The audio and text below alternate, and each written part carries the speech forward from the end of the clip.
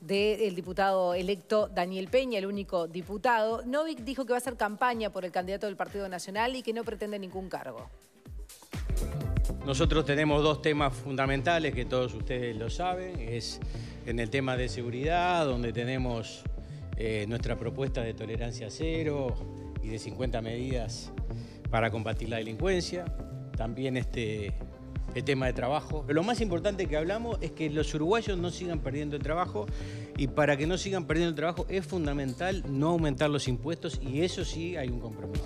Yo lo he dicho personalmente, yo no quiero ocupar ningún cargo, no quiero ser ministro, no quiero tener ningún cargo, yo quiero ayudar a que haya un cambio en este país y en eso es lo que estamos de acuerdo y estamos nosotros y toda nuestra, nuestra estructura en todo el país vamos a apoyar y hacer campañas en pro de que haya un cambio de nación.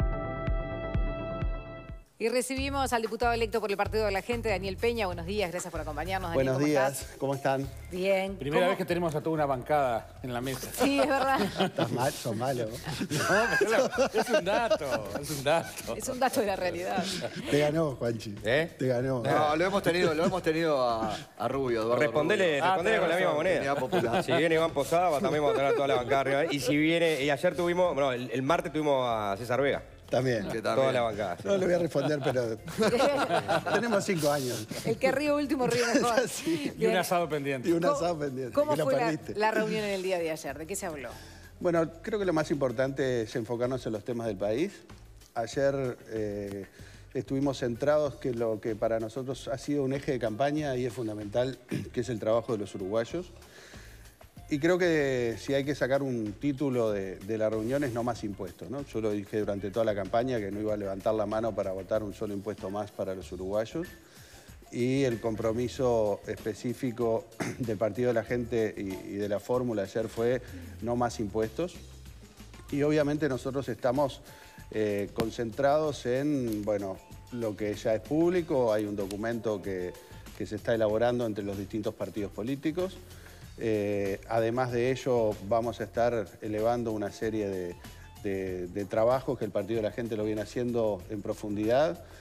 Lo dijimos, creo que acá fue de los programas donde más pudimos eh, hablar de lo que fue no- todo nuestro estudio en base a eh, los bienes del Estado, la industria de los juicios en el Estado, que eso es algo que, que sigue sin estar en campaña y que ayer lo hablamos en profundidad. Está en el programa, casualmente por ahí perdido dentro del programa del Partido Nacional, para nosotros fue el tema número uno.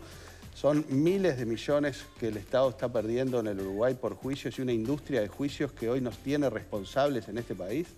No es responsable ni el que toma decisiones, ni quienes están defendiendo el dinero de los uruguayos.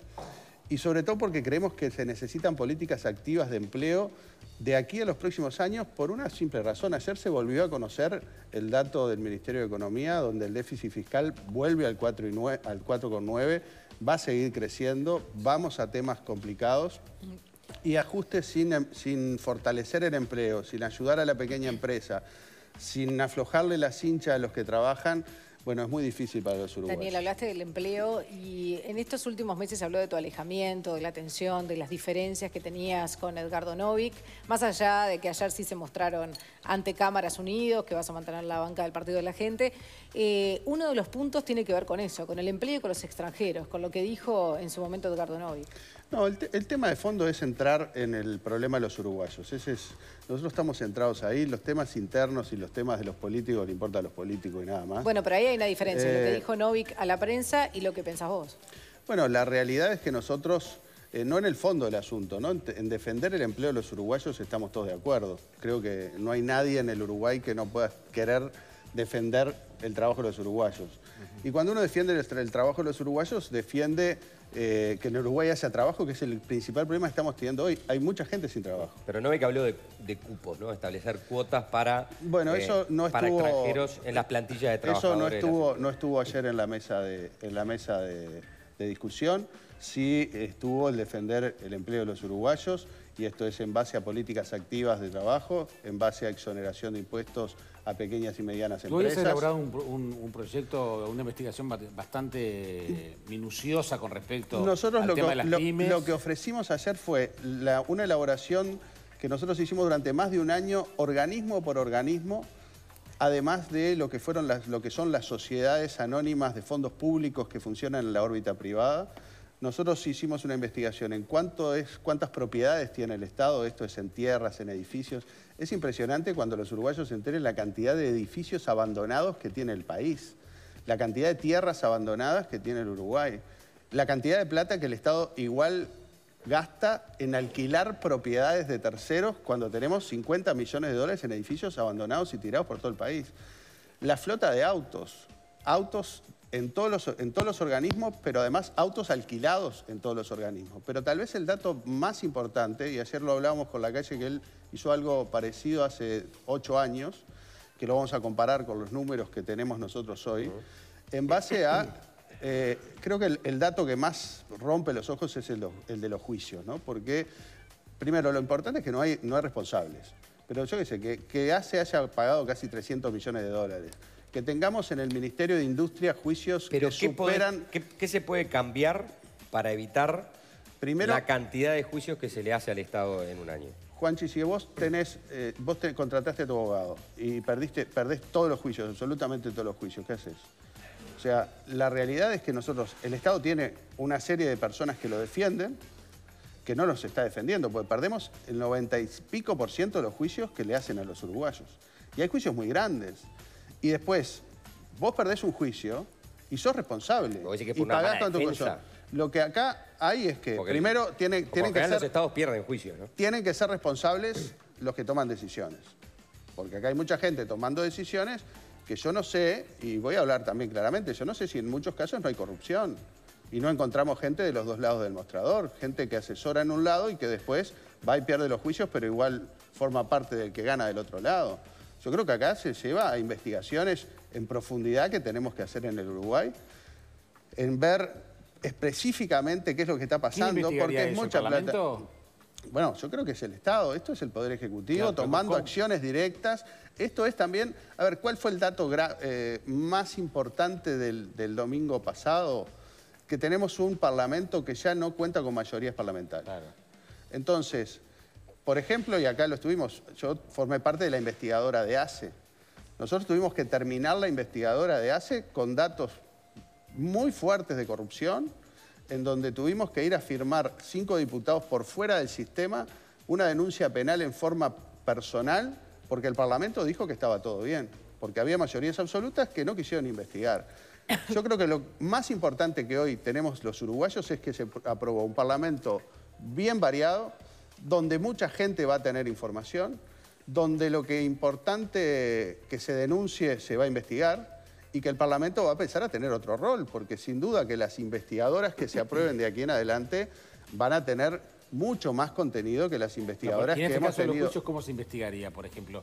¿Habría una unidad que este, a nivel del Ejecutivo? ¿Es el Parlamento? ¿O toda esa información que ha recogido? Nosotros tenemos una serie de propuestas que en algunas son en camino legal, muchas son de gestión, de gestión pública, de gestión directa del Poder Ejecutivo. Esto es interés esto es poner al frente a personas, a, un, organismo a regular y centralizar todo lo que son los juicios del Estado, a centralizar la toma de decisiones, a investigar caso por caso. Yo no puedo tener un organismo como ACE que pierda 16.000 juicios con sus propios funcionarios en cuatro años. Vos podés perder uno, podés perder 10, podés perder 50. Ahora, cuando perdés 16.000 ¿No te llama la atención? Nadie investiga, nadie dice, ¿cómo pierdo 16.000 juicios en cuatro años y no hago nada? Nadie tiene responsabilidades, acá no hay directores, no hay gente que asesora a los organismos, 16.000 juicios con sus propios funcionarios. Entonces, es algo que llama mucho la atención, que es muy fuerte el dato y que obviamente obedece a que alguien tenga que tener alguna responsabilidad en la toma de decisiones, porque es el dinero de todos los uruguayos. Imagínate, que todos los medicamentos caros del Uruguay, para todos los uruguayos que hoy están necesitando medicamentos caros, es mucho menos dinero de lo que la propia ACE paga a juicios perdidos por malas decisiones. Así que si habrá cosas para avanzar. ¿Cómo sigue el Partido de la Gente? El Partido de la Gente va a seguir ahora en campaña electoral intentando que las cosas cambien. El Partido de la Gente eh, es un partido democrático, por lo cual va a articular todo lo que son sus organismos, esto es Convención Nacional, eh, mesa ejecutiva que hasta ahora es provisoria, que se va a renovar eh, en, los cortos, en el corto plazo, y vamos a llegar a, bueno, a un partido democrático que va a tener su funcionamiento como todo partido democrático en el país y, que, que va a continuar como, como, como, debe continuar la vida política de todo organismo que en definitiva tiene su, su vida, que nació, que se mantuvo en una elección interna con éxito, que logramos en la elección nacional tener representación parlamentaria, que es un partido diferente al resto de los partidos, eso es bueno decirlo. Creo que ayer eh, quedó muy claro en la reunión con, Luis Lacalle Pou, el partido de la gente es el partido de la gente y vamos a aportar desde el partido de la gente los temas que al partido de la gente le interesan y vamos a acompañar esto como partido de la gente. ¿Cómo evalúan las elecciones, los resultados? ¿Tuvieron eh, en realidad en estos meses también muchos los eh, dirigentes que se fueron? Eh, en el caso de Novik, ¿pretendía llegar al Senado? Bueno, esos son los temas que van a ser para después. sin duda que son todos los temas que van a estar arriba de la mesa. Todos los partidos, calculo, que harán su evaluación. Nosotros la vamos a hacer. No es el momento hoy de hacerlo, eh, pero sin duda que es parte de lo que... De pero vos planteás, eh, por ejemplo, que a partir del funcionamiento de esos organismos, las convenciones, etcétera, pueda estar en duda el liderazgo del partido de la gente, o la gente votó a Novik, vos sos diputado, pero hay que respetar también que la campaña fue en torno a su figura y que él la financió. A ver, todas las, todos los partidos eligen una figura después hay que votar, la gente vota y elige o no elige. Eh, lo que acá es, importan los partidos políticos es una elección interna en donde se eligen los convencionales, que son quienes tienen el, digamos, el desafío de cómo conducirse el partido. Por lo cual, la Convención Nacional, que es el órgano máximo del Partido de la Gente, como de todos los partidos políticos, elegirán en ese momento, no solo harán la evaluación, sino que también elegirán en ese momento eh, cuál es el futuro del Partido de la Gente, que podrá ir por, por cambiar todo, podrá ir por mantener todo, podrá ir por, por todas las cosas Más allá de la votación de octubre, vos te basás más en la interna, porque el partido subo 6.000 votos, ahora... 26. 26.000. ¿A vos te, te, quedás con la votación de junio? No, es... A ver, los partidos se manejan en base a la, elección de julio. La realidad es que esto es como lo que hablábamos la otra vez, ¿no? O sea, de quién es, eh, dónde termina uno posicionado. Pero son los temas que creo que no le importan tanto a los uruguayos. Bueno, capaz que sí, capaz que el que votó a Novik y ahora dice, bueno, el, yo se lo di ¿Cómo quedó mi partido? Claro, me va a representar Peña, las ideas que Novik me transmitió en la campaña. Bueno, Peña también transmitió unas cuantas. Sí, bueno, está bien, pero, la campaña se centró mucho en Novik, ¿no? O el financiamiento, ¿vos aportaste a la campaña? Sin duda, sin duda. Sin duda, todo esto está todo esto es público. No, no, bastante dinero también. ¿Latita? Constante y sonante. ¿Sí? Lamentablemente. En el Uruguay. No, pero comparado con Novik, no, no. Bueno, hay que ver los resultados de, cada inversión. La realidad. No está bien por eso, pero él hizo una gran inversión en el partido de la gente como tal. Bueno, o en su figura. Acá la realidad, todos los partidos hicieron mucha inversión. Estoy seguro que. ¿Vos no sentís que haya llegado a la banca con, el financiamiento ese? No, absolutamente. ¿No? Eh, absolutamente pero más allá de eso, creo que todo, es parte de todo. Es, el, tercer partido que puso más plata, tiene un vamos a ver Vamos a ver cuando cierre. ¿Cómo va a ayudar? Vamos a ver cuando cierren los números, a ver si todos pusieron lo mismo. Y además, yo te quiero contestar algo que dijiste. Todos, todo es parte de todo y todos tienen. El que se crea que solo un, efecto, yo no me lo creo, no creo que esto sea ni solo por mí, ni que cada cosa vaya haciendo. Eh, los conjuntos van haciendo a los resultados, ¿no? y a la prueba terminamos hoy en, donde estamos. Aportando al Uruguay, creo que hay muchos aportes, creo que lo más importante que, el Partido de la Gente hoy le pone a los uruguayos, tal vez es el mejor programa en seguridad y el mejor programa en empleo que un partido le puede aportar al país. El 15 de febrero asumen los nuevos legisladores, ¿es el 15? El 15 de febrero. ¿Y en qué mes del próximo año considerás que vas a volver al Partido Nacional? En ningún mes. ¿Vamos, ¿Vamos a jugar algo? Noviembre. Mirá que se le dé un asado, Jaime. Mirá, Jaime me dé un asado. Vos pones la bebida. Noviembre de 2020. Pará, pará, pará. No, vos Junio 2020. Vos Adelante. Vamos a... Juanchi. sí. ¿Qué pones?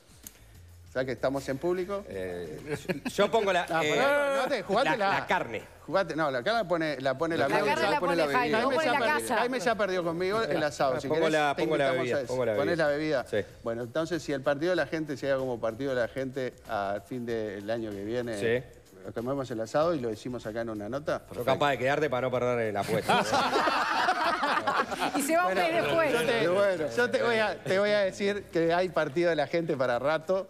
Hay, va, va a ser mucho más que eso. Vamos a tener eh, sin duda el proyecto eh, sigue, ojalá reencaucemos, ojalá podamos ser mucho mejor que lo que fuimos. Eh, es un proyecto que, bueno, que tuvo muchos tropezones, pero que está con vida, que está vivo, que va a seguir adelante, que yo lo voy a continuar como pueda y seguramente con la mayoría de gente. Hay mucha gente. Daniel, ¿hay, nadie, algún nombre en algún ministerio?